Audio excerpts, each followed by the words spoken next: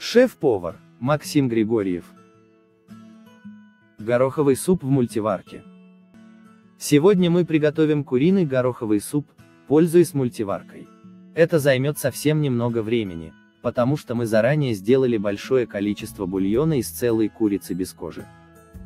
Поэтому у нас есть два громатовых ингредиента, отварное куриное мясо и необходимое количество куриного бульона. Время приготовления – 50 минут. Ингредиенты. Аджика сухая 0,1 чайн ложь. Бульон куриный 1 л. Вода 1 л. Горох сухой дробленый 1 ст. Жир куриный 20 грамм. Картофель 5 штук. Куриное филе 300 грамм. Лук репчатый 1 штука. Морковь 1 штука. Соль 1 щепотка. Укроп сухой 1 столовая ложка. Шаг 1. Очистим все овощи. Отмерим необходимое количество бульона и воды, специй. Шаг 2. Горох промоем и замочим. Шаг 3. Лук и картофель нарежем, а морковь натрем на крупной терке. Шаг 4. В режиме жарка готовим лук и морковь с куриным жиром, на протяжении 5 минут мультиварки, у нас модель Борг на 2,4 литра.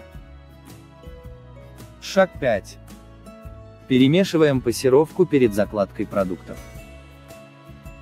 Шаг 6. Теперь закладываем картофель средней нарезки. Шаг 7. И промытый горох. Шаг 8. Теперь очередь мелких кусочков отварного куриного мяса. Шаг 9.